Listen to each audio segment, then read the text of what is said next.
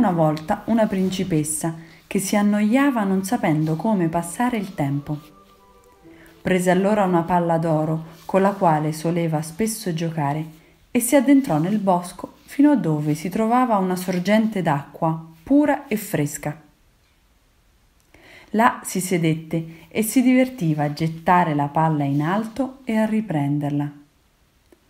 Le accadde tuttavia di lanciarla molto in alto, ma la palla ricadde al suolo e rotolò in acqua. La principessa spaventata la guardò affondare e la fonte era profonda perdita d'occhio. Quando la palla fu scomparsa del tutto, la fanciulla incominciò a piangere e gridò Ah, la mia palla d'oro, darei qualsiasi cosa per poterla riavere. I miei vestiti, le mie pietre preziose, le mie perle, perfino la mia corona d'oro. Come ebbe pronunciato queste parole, un ranocchio sporse la sua grossa testa dall'acqua e disse Principessa, perché mai ti affliggi così miseramente? Ah, rispose la fanciulla, tu, brutto ranocchio, come potresti aiutarmi? La mia palla d'oro è caduta nella fonte. Il ranocchio rispose I tuoi vestiti, le tue prete, pietre preziose, le tue perle, perfino la tua corona non mi interessano. Ma se mi accetti come amico e compagno, se potrò sedere sulla tua tavolina, mangiare dal tuo piattino d'oro, bere dal tuo bicchierino e dormire nel tuo lettino, allora ti ripescherò la palla. La principessa pensava in cuor suo, che va mai blaterando questo ranocchio balordo? Un ranocchio non può essere compagno di una creatura umana e deve rimanere in acqua. Ma forse può riportarmi la palla. Allora gli rispose, riportami soltanto la mia palla d'oro e poi, per conto mio, tutto ti sarà concesso. Come ebbe detto questo, il ranocchio immerse la testa in acqua, si tuffò e poco dopo tornò in superficie. Aveva la palla in bocca e la buttò sull'erba. La principessa si rallegrò di riavere tra le mani il suo giocattolo. Il ranocchio disse Ora aspetta, principessa, e prendimi con te. Ma era come se avesse parlato al vento. Ella non lo ascoltò affatto. Corse a casa con la sua palla d'oro e non pensò più al ranocchio. Il giorno seguente, mentre sedeva a tavola con il re e i cortigiani, intenta a mangiare nel suo piattino d'oro, plish, plash, qualcosa salì balselloni la scala di marmo e quando fu in cima bussò alla porta e gridò Figlia di re, piccina, aprimi. Ella corse a vedere chi fosse fuori, ma quando aprì si vide davanti il ranocchio. Allora sbatté precipitosamente la porta e tornò a sedersi a tavola piena di paura. Il re si accorse che il cuore le batteva forte e disse Di cosa hai paura? C'è forse un gigante alla porta che ti vuole rapire? Ah no, rispose la ragazza, non è un gigante, bensì un brutto ranocchio che ieri nel bosco ha ripescato dall'acqua la mia palla d'oro.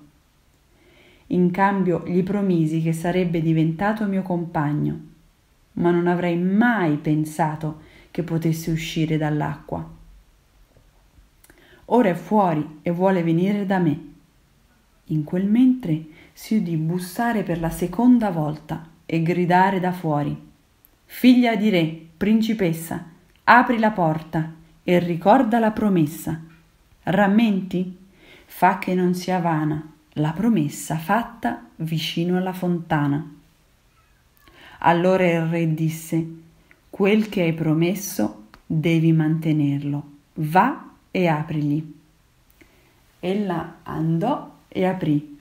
Il ranocchio entrò e sempre dietro di lei saltellò fino alla sua sedia. Lì si fermò e gridò Sollevami fino a te. La principessa non voleva, ma il re ordinò di farlo.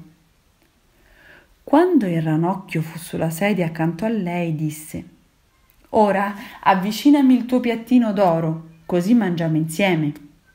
Ella obbedì di malavoglia e mentre il ranocchio mangiò di gusto, a lei rimase in gola ogni boccone.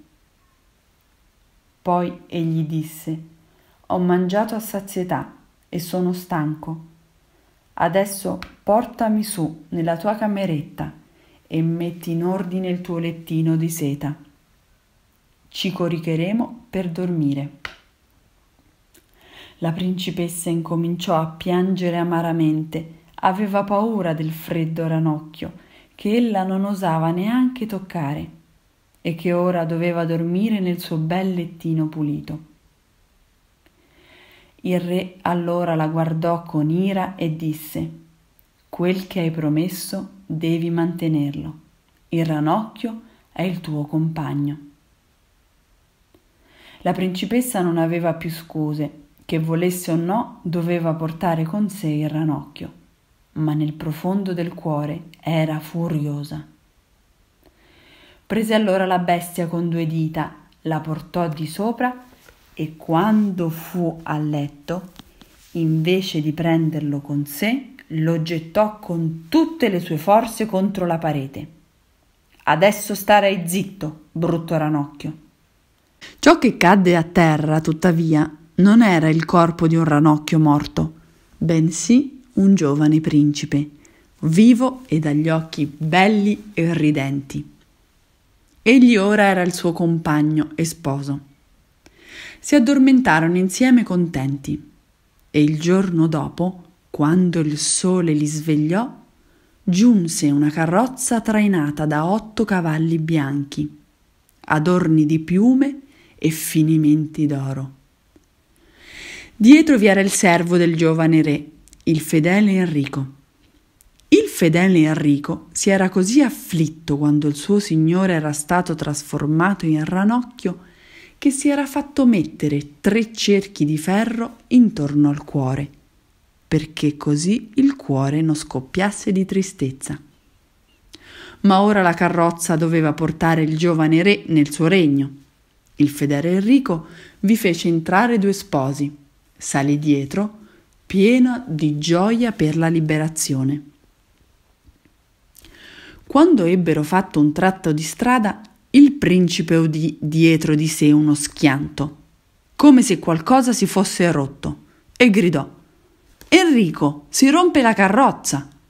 No, no, signore, voi siete in errore. S'è rotto un cerchio del mio cuore. Messo quando, mutato in rana, vi vidi riflesso nella fontana. Per due volte ancora si udì, si udì uno schianto durante il viaggio e il principe pensava sempre che fosse il cocchio ad andare in pezzi. Invece si trattava solamente dei cerchi che saltavano via dal cuore del fedele Enrico, perché il suo padrone era di nuovo libero e felice.